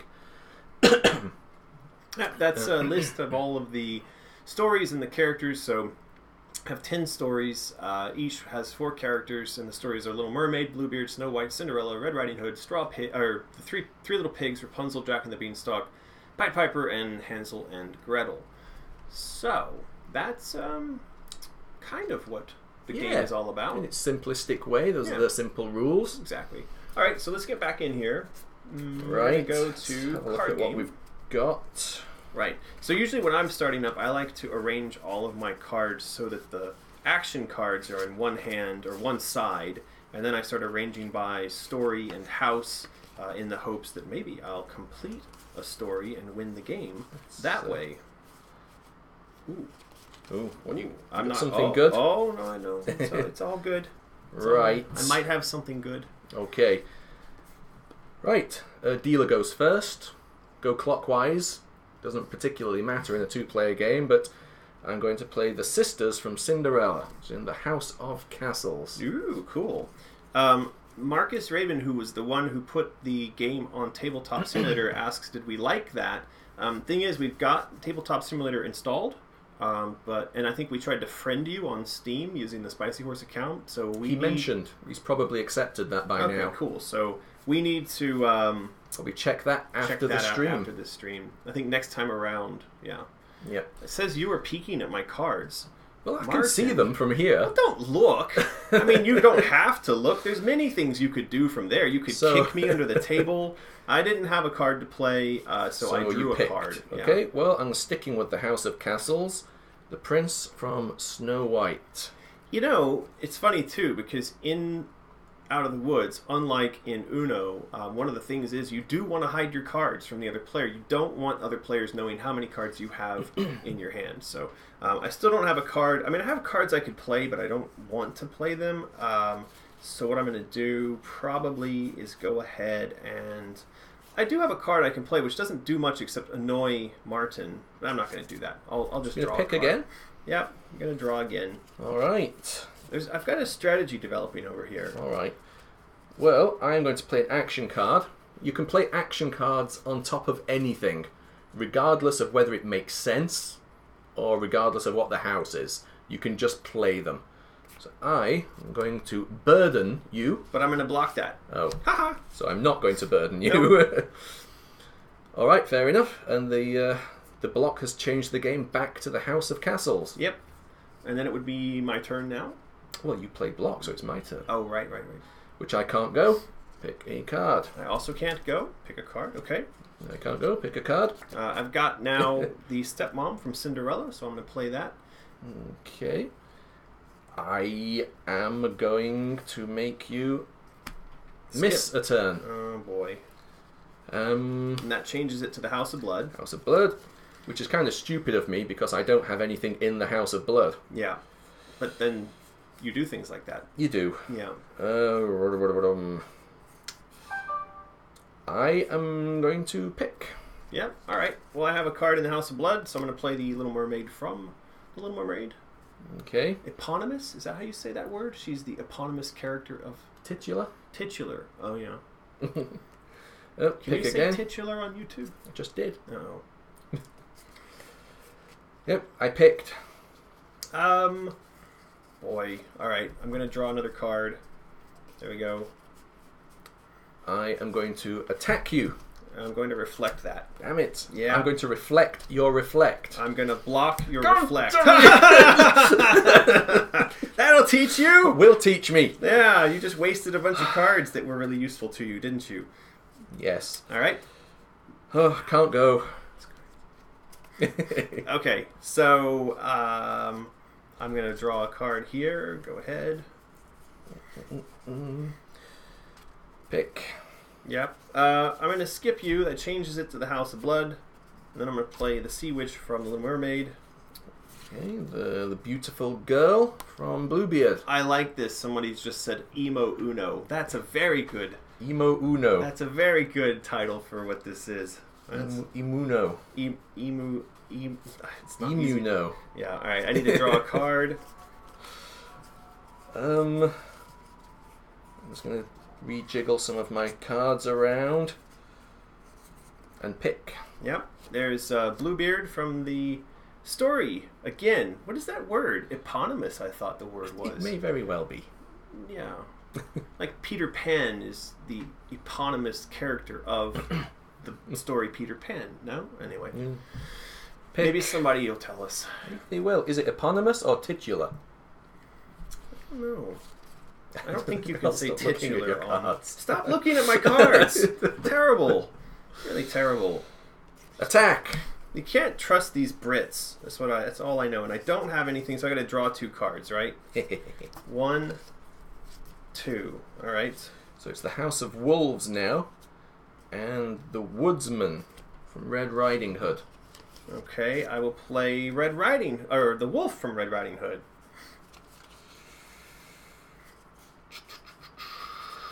I will play the Straw Pig from the Three Little Pigs. I'm going to burden you, Um, unless you can stop that. no, you can burden me. I'm, I'm going to give you the Prince from Cinderella. Thank you. Take good care of him. I will. Yeah. So, Uh, uh, my go. I think it's your My turn. turn. Yeah. Uh, since we're now in the House of Oh, Towers, look, we're dorks. It's both eponymous and titular.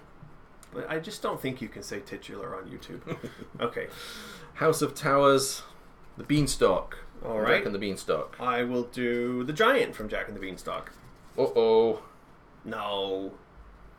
I'm What? I'm going to do something which you maybe shouldn't do, but we have now played two Jack and the Beanstalk cards in a row on the deck. I am going to play the third, which potentially gives American the chance to complete the story if he has the fourth Jack and the Beanstalk card. I don't. Oh. Yeah, sorry. sorry to let you down. I don't. Um, Right. So Andrew was asking, do the action cards have to match, match the house being played? The answer is no. No. Um, actually, the action cards. I'm going to play Rapunzel, by the way, while I Okay. answer. The action cards uh, is um, it changes the house. Changes so you the actually house. use it. You know. Yeah. Uh, all of the action cards have a house assigned to them, apart from the wild cards, which then you can nominate the house. There you go. Uh, you pay. You play Played Rapunzel. from Rapunzel, Rapunzel. House of Towers. I uh, will play Skip, Okay. which was silly because I don't have anything in the House of Blood. Well, you so do do silly things. I get to pick. No one's again. ever said that you don't do silly things. I have a silly streak. All right, go ahead. Wild two. two, Oh no! I'm gonna take two cards. One. and two. I will then say that the game has become the House of Waifs. Okay.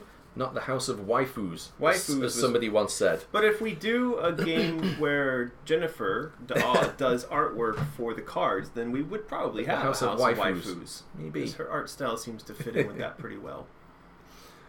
Um. Yep. So I played. You picked. You go. Okay, and what was the house? Uh, waifs. Waifs. Right. I don't have anything from the House of Waifs. Okay, you go for it. The Pied Piper's pipe. Cool. So Martin has just made a massive technical error, uh, though it may not turn out that great for me. But we're going to find out. Uh, it turns out I have the Pied Piper, and I have the children from the Pied Piper, and I have the parents from the Pied Pipers. So I've So just you have just finished the story. I just finished the story, and unless you could play a block, um, I cannot play block. well, that's it. No block. Martin lost. I lost. I won the first You stream. did win. You did win in the first stream. So That, is that your plan? You were collecting cards to finish a story. I was because that was what I said when I first started playing. It was uh, it was yeah. I've got. I already had three of them, so I figured I just would sit on those three cards until you made the mistake. Or so that was why actually when you were making me draw cards, I wasn't too bothered because I'm like, eventually I'm gonna get this. Either you're gonna play it or I'm gonna draw it, but I one way or another. I should have paid attention to I how many you- you, were holding. I thought you were cheating and looking at my cards. You need to learn how Really to you- help. You, need to cheat better. All right. Well, so that was it. Um, we had a good game there. How long was that? Five, five, six, seven minutes, something. Don't know. But that's kind of what we planned.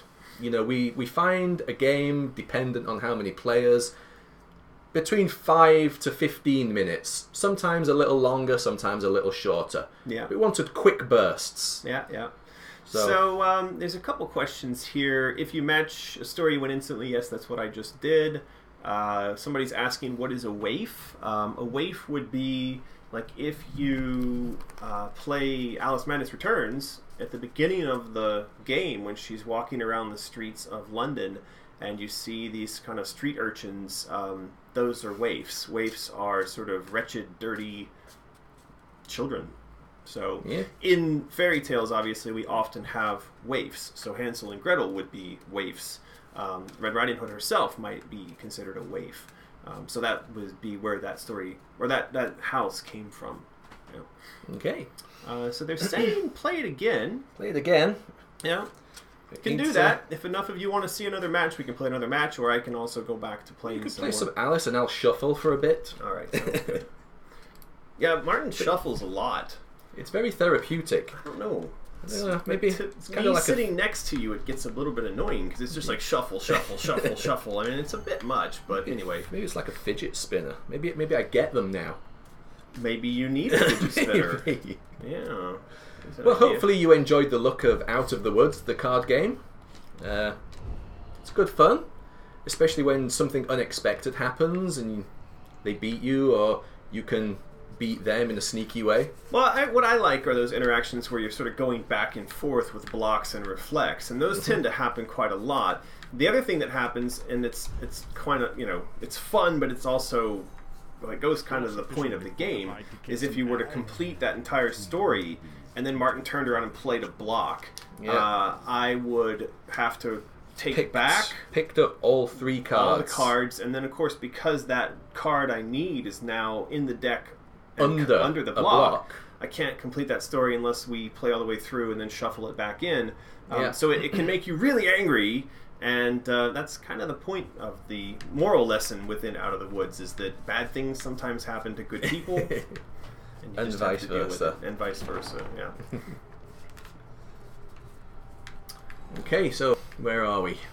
Well, we're still in the underwater domain, and now we've got to the point of the cannon crabs who are smoking cigars with one claw and firing cannonballs at you with the other. So, uh, As crabs are as crabs. As crabs do. I think you have to reflect these guys' shots back at them, if I remember correctly. Yeah, Sounds like it's probably it. Yep, there you go. And then once they're on their back, you Hit them for massive damage. exactly. These guys have got really nice animation on them as well. I like I like the sequence where he's sort of hitting his um, he's hitting the cannon to uh, to reload it. Tough as well. They're like mini bosses. Um, they are pretty tough. You know, I don't like crab for this reason to eat because they're, they're such a pain in the butt. Uh, this is the same thing like shrimp, crab, um, anything that you've got to peel and eat, I'm not a big fan of. I like the taste, but it's just I don't want to have to fight with my food in order to eat it. You know? Yeah, I remember you complaining about the shrimp in uh, Barbarian where we went. yeah. Um, what's the story behind the Psychonauts Easter egg? Um, there's not a story per se, other than I was a big fan of Psychonauts. Um, there, I think, some obvious uh, parallels between the two stories, in, in that you know both Alice, um, you know, both both characters are going on uh, sort of um, psych, you know, psycho adventures. Um, ah, shit. And um, yeah, so you know, I, I, I sent a note to Tim Schafer and said, hey, you know, and I, I also knew that he was a fan of uh, of the Alice games, and so I asked him if we could uh, include the character uh, as an Easter egg, and he said yes. And we actually got the two groups of lawyers um, at EA and at uh, Tim's company to um, to say yes. So yeah, it just it, had, it had to still all be lawyered up. It wasn't just like an agreement between chums.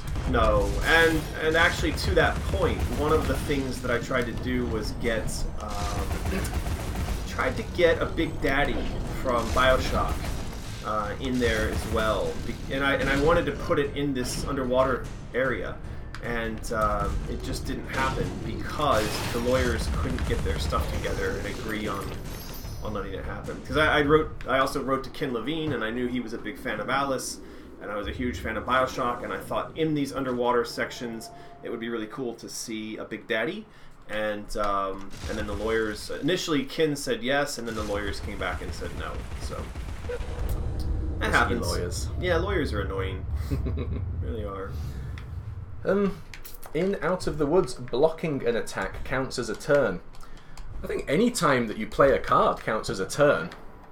Uh, there is the mechanic, as you just saw, a little bit of back and forth we had.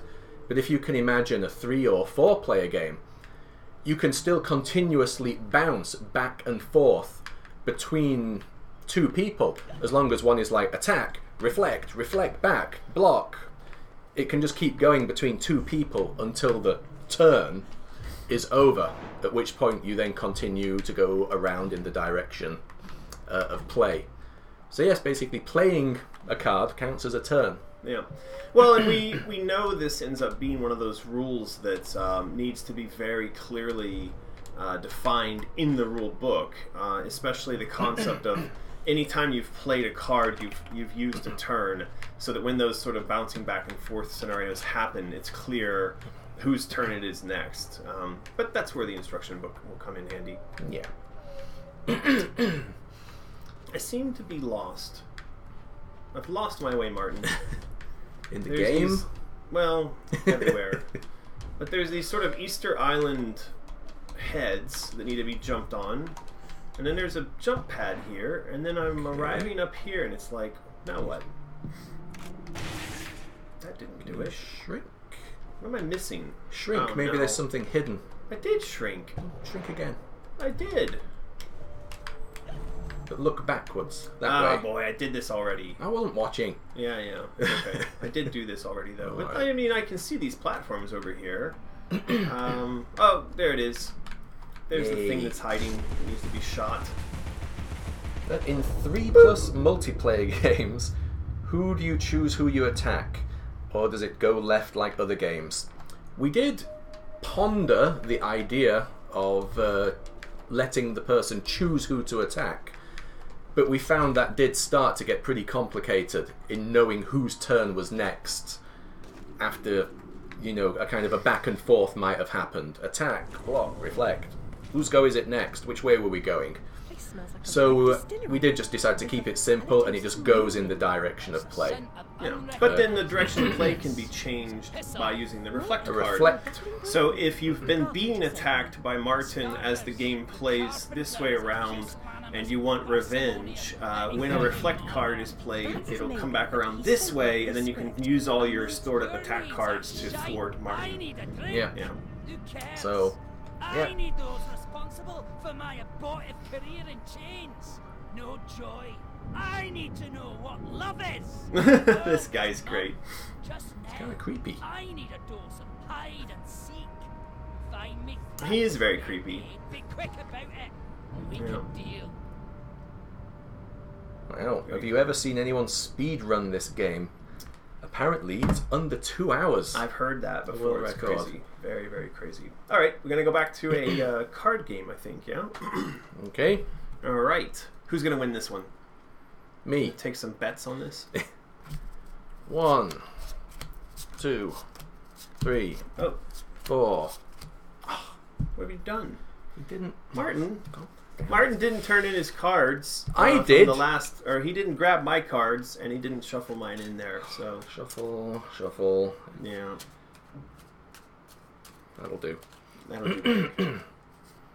One. Somebody's saying Two, when Alice is in Wonderland, is she just unconscious? is she having a seizure or something? five, Um, yeah, I mean, this is one of those those questions seven, again. Uh, it keeps coming up, but it's sort of meant to be one of the mysteries in the game is just what's going on with her in London. Because obviously, as you play through Madness Returns, she's moving between physical locations in London. Um, so there is a movement taking place, but as to why and how, um, I'd rather not say. Did you get some shit cards there, Martin? Did. Oh no. Good. Good, good, good. I'm already on track to win again. What's wrong? What's happened? Alright, so I'm arranging my cards again by story uh, and by By action. action, and I've got some decent action cards, and I've got There's some, nothing going on here. yeah, I've got a pretty. I, I'll admit I also have a pretty dead hand. So let's let's see how this goes. All right, get it going. Red Riding Hood. Red Riding Hood. House of Wolves. I will play the wolf from the Three Little Pigs. I will play the wooden pig from the Three Little Pigs. I'm going to do. Uh oh. This could just end very quickly. There's the straw pig from the Three Little Pigs. No. No, okay. Skip. Alrighty. so now we all know that that story is dead. If That anybody is- gets the Three Little Pigs, there's no point in trying to hold on to it for any sneaky reason. exactly. Yeah, it is one of the things you want to try to keep track of what's going on with the cards that are being dealt because it'll give you a sense of whether or not there is a story to be collected and played. Nope, I, I couldn't go. I picked. All right. Well, I'm going to burden you unless you're going to block that. I am not going to mm-hmm. block that. And I'm going to burden you with the Pied Piper from the House of Waifs. Okay. Yeah. Um, somebody's asking, what is our favorite Chinese dish? Hong Shao Rou. That's pretty good stuff. Mm. Mm. See, didn't even have to think about it. And that. that's look, he spoke Chinese. Woohoo, Martin! Oh, yeah, I know the name of my favourite dish. Shock. Uh, no. Yeah, it's kind of it's pork in sauce, but it's got all the fat on it. But the fat is it like dissolves in your mouth. It's, It's yummy. lovely. Very I yummy. could eat that forever. Yeah. You would die though. Yes. You know, fat overdose. Um, you burdened me. Uh, And I gave you a card, and now it's anything. your turn. Okay. And that, of course, changed it to the House of Towers. House of Towers. And now I'm going to play Jack from Jack and the Beanstalk. Can't go. God damn! It's got a handful of cards. Um, I'm going to continue in the House of Towers with the Prince from Rapunzel.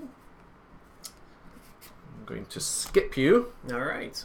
And now we're in the House of Blood. Go with the Dead Wives. Cool. Bluebeard. Um, I'm going to wild to you, No, you're not. but that takes us to the House of Castles. The? Yes. Okay. And is it my turn now? It is your turn. Wow, because I'm on my last card, What? which is the House of Castles, and you lost again. Wow, he wasn't paying attention to my cards I- that time. I have got one. six cards in my Yeah, That was a good one. That was very fast. I think that was the fastest game we've ever played. Wow. Really, really was. Yeah, yeah, yeah. Which is why you're supposed to keep a close eye On the other person. on the other person. If you've Even known, if, if you can't see the cards, you still want to know how many they've got in their hands. I can't believe it was that fast. it was pretty fast. Maybe you shuffle again. We'll play one more time.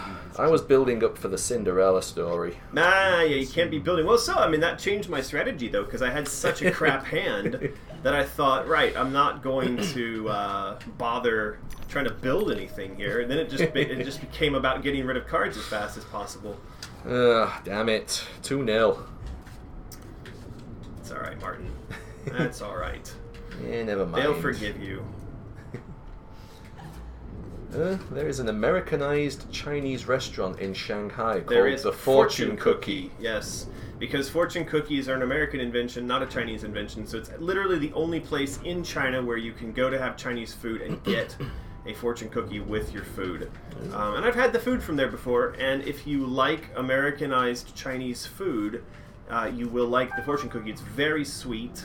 Um, and it's got all the kind of like stuff that we know, like the General Jiao's chicken, and it's got the uh, lemon pork and stuff like that, which typically you don't find uh, those dishes on the menu at uh, tr- you know traditional like normal Chinese restaurants.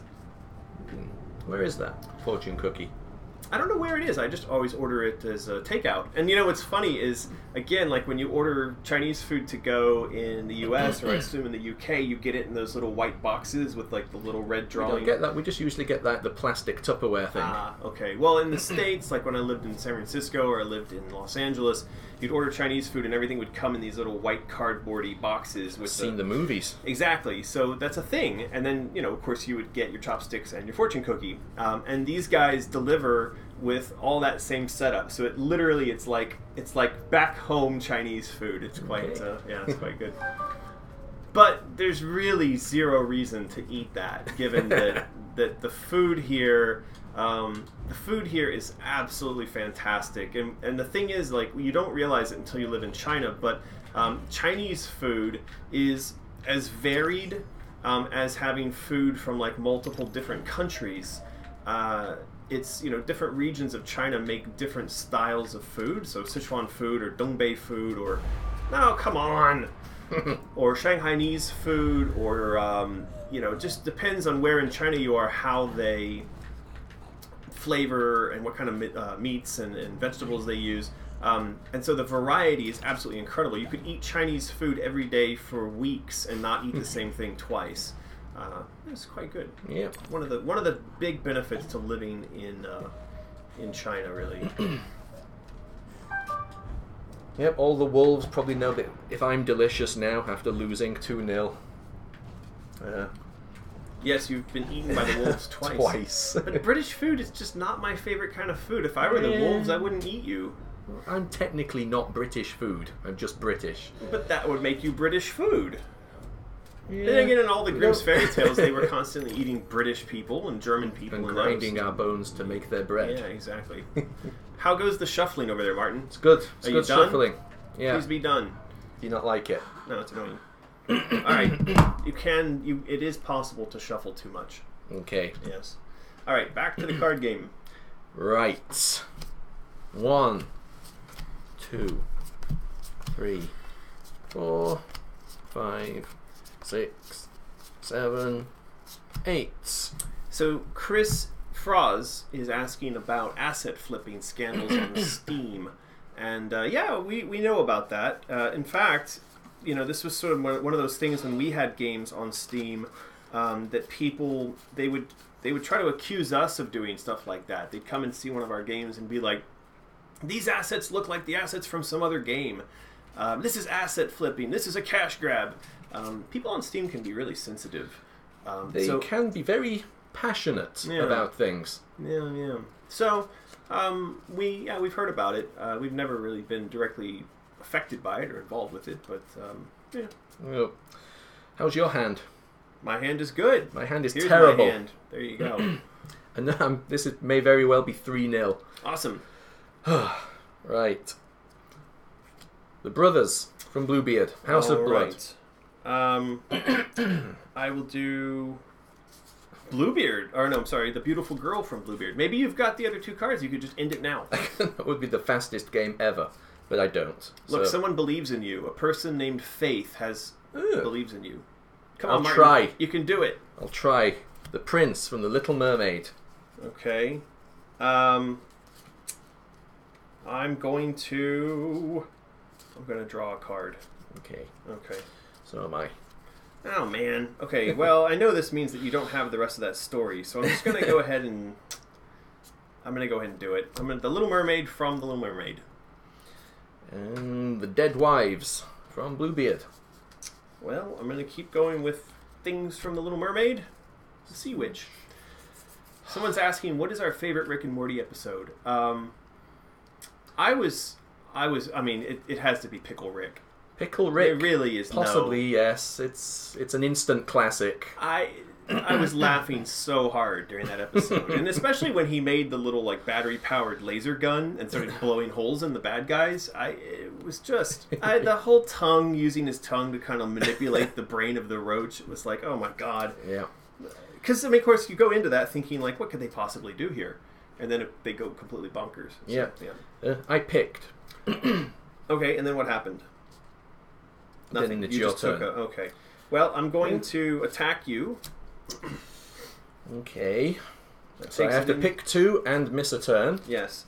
I always liked interdimensional TV That on one Rick and very Morty, good. both of them. That was a really good one. yeah. Uh, I that's you've you've done your thing. Okay, so Yeah. I'm gonna I'm gonna play a card from the House of Wolves, the Brick Pig.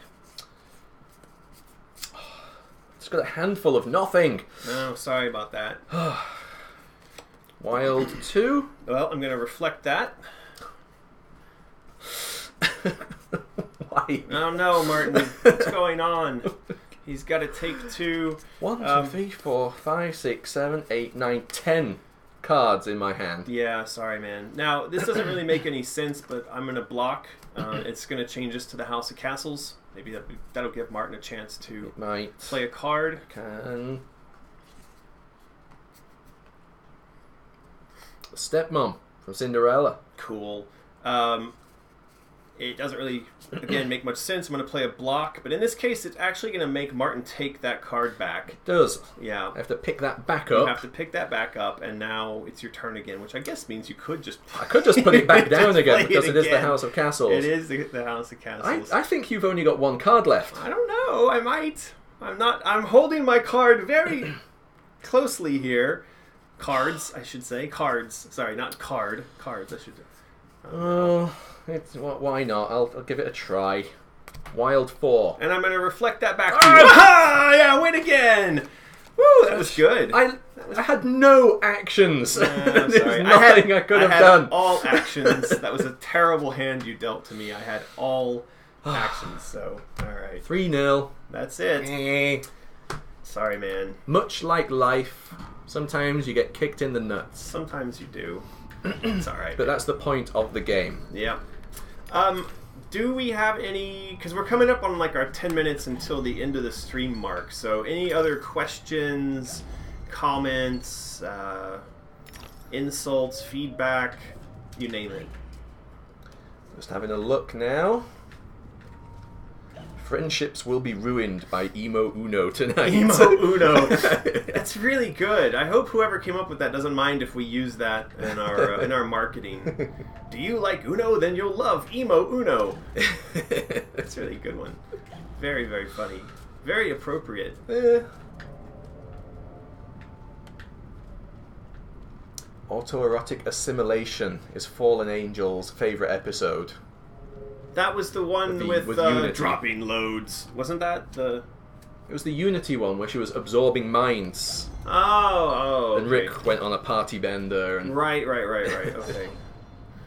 what was the one with the uh, the sex robot that Morty impregnated, and then it, and then he that- had a that child? was- That was raising Gazorpazorp. Oh, okay. Because that, that one was actually really, really fun. Weirdly, I don't like that one as much. No? No, if I'm going back and watching them, I kind of avoid that one a lot. That's weird. Because I Yeah, thought there don't were know some why. parts where, like, especially the, the beginning, where, like, Morty's up in his room, obviously having his way with, the, with the robot, and then. Uh, you know, they're like, well, this isn't normal, but then, you know, he goes back upstairs and then he's like, Grandpa, come upstairs. And she says, well, if they start making noises again uh, together, can we please go up there and make them stop? You know, it's like, yeah. Um, this has been asked a little bit. What happened to the early version of the game where Alice was chased by the police in London? Who asked that? Grayson Histrov? All right.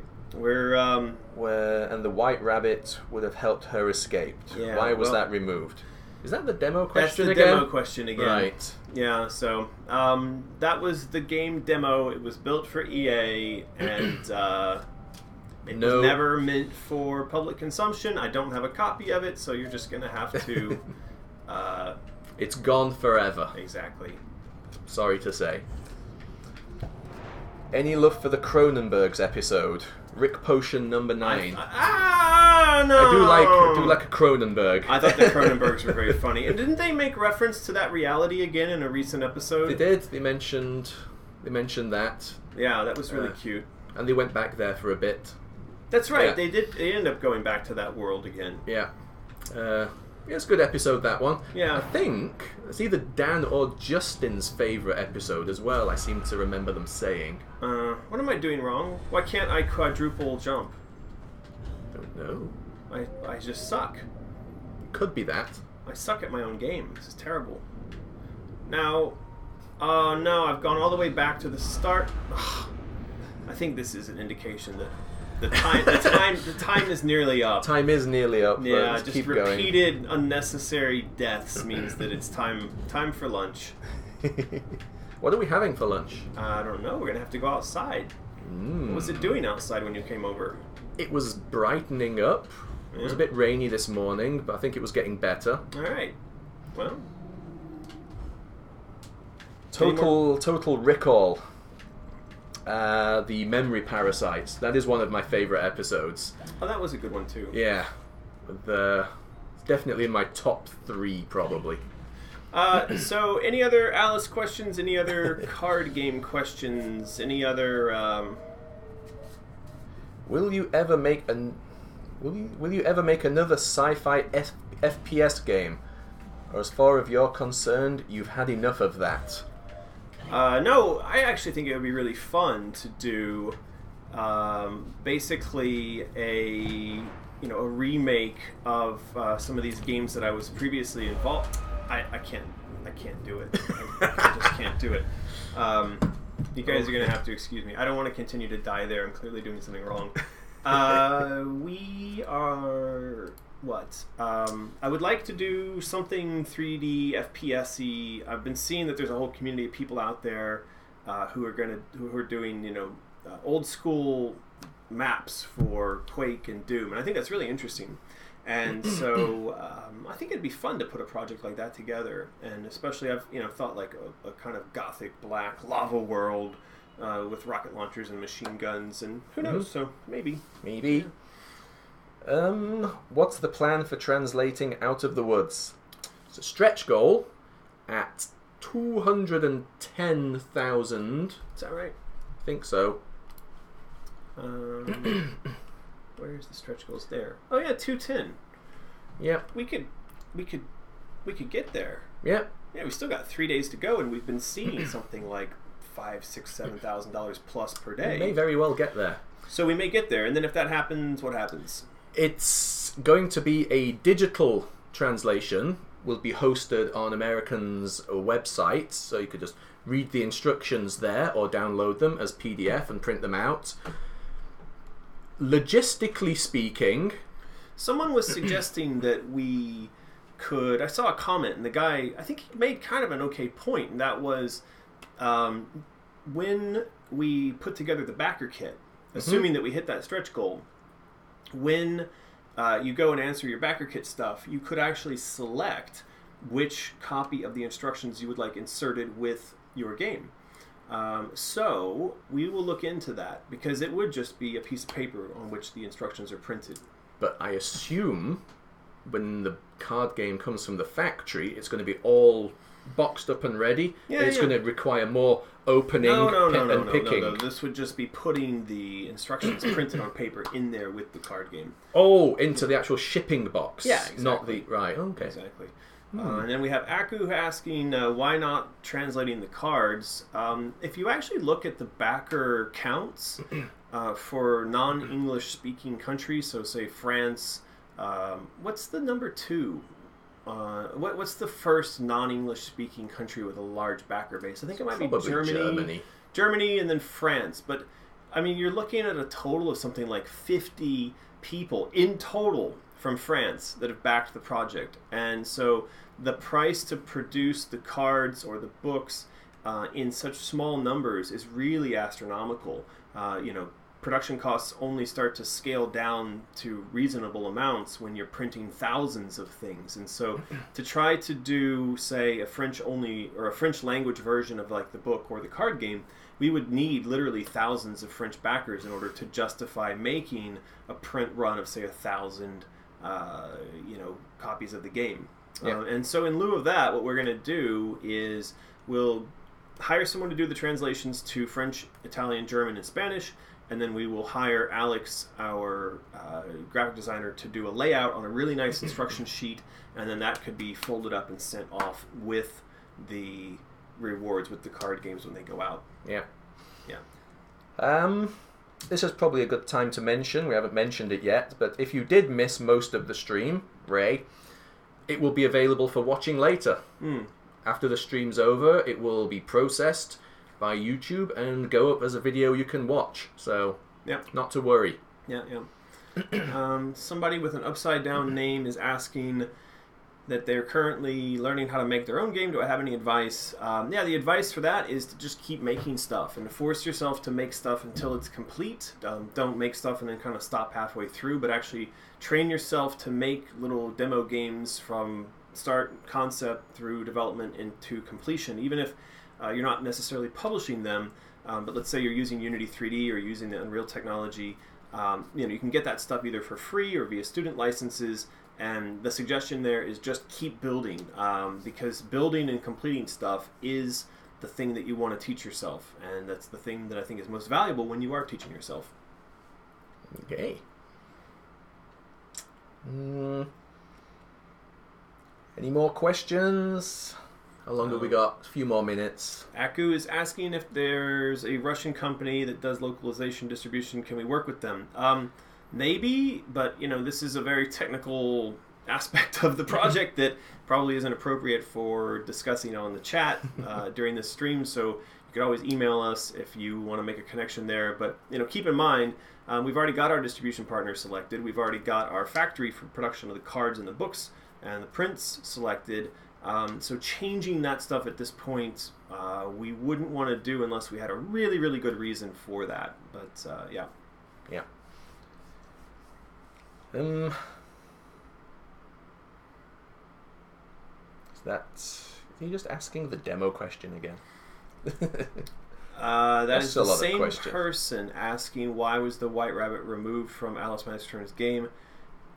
Uh, you know these questions about like why stuff was removed or why was something in the demo that wasn't in the final game or there's really not like some answer I can give you to these things that's gonna. Well, I'm not really sure what it is you're looking for. I don't know what the people who ask these questions are looking for. It's sort of like when you're making a film. Sometimes a scene will be edited out, um, either to make the film, you know, sort of run faster and feel tighter, um, or maybe there was a scene written in a script that ultimately doesn't get shot. Uh, that you know the director or the producers decided was too costly uh, for them to include in the final uh, production, or maybe they just ran out of time. So generally, that's the case. It's sort of like there was stuff that we were planning to do earlier on. Uh, some of that stuff didn't make it into the final game, and there could be a variety of reasons. And the truth is, I don't remember every single detail about every single thing that we thought we might do, and then maybe later decided not to do for cost reasons, time reasons, a myriad of other reasons. So. Uh, yeah, I don't know. I would say don't worry about it. The game is the game is what the game is. Um, there's no real mysteries or conspiracies going on there. So Um. when when are you making a nightmare themed Candy Crush? yeah, I don't know. I want to stay away from mobile games for a while. We we had a run with mobile games for the last five. Well, you know, a year ago we took, took the studio down, but uh, for the five years prior, we had been working on mobile development of free to play games, and um, I, don't know. Just you know, I'm much more interested in making these physical things. I'm much more interested in interacting with the physical things, interacting with the actual audience in this fashion. Um, I'm, I'm okay if I don't make another mobile game for a while. Okay. Yeah. Well, that's two hours, That is two hours. and my throat is playing up. Well, Sorry. it's a good time for us to call it a day. Um, so, couple last points. We still have three days to go with the campaign. We now uh, have our third stretch goal in sight, and that would be the translation. And we need to raise another what, ten thousand? Fine. Nine thousand four hundred. So roughly almost ten thousand dollars in order to unlock the third stretch goal. Um, three days, and if you don't back before the three days are up, you're going to miss your chance to get the collector card and the scarf and the translated stuff. I guess. Well, not the translated stuff, but the collector card and the scarf. Um, before the end of this this campaign, I guess you and I are probably going to do at least one more stream, and so. I will probably keep doing some streams, and you're welcome to join um, of Madness Returns until we finish that, and then maybe we could move on to some other games that I've worked with.